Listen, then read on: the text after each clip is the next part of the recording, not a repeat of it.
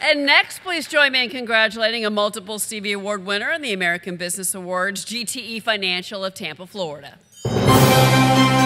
GTE Financial won a Silver Stevie Award for Achievement in Corporate Social Responsibility, and Executive Vice President and COO Chad Burney won a Bronze Stevie Award for Technology Executive of the Year. GTE Financial is a not for profit financial cooperative founded in 1935 during the Great Depression and is one of the largest locally owned and operated financial institutions in the nation.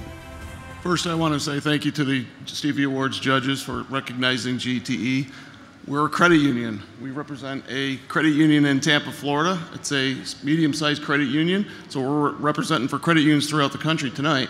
Our primary job is to help our members succeed in their financial dreams every single day. Our secondary job is to reinvent banking. And since we're walking away with a couple of awards, um, when the, on stage we seen some pretty large brands tonight, it's pretty impressive, and I'm truly humbled, as my team is as well.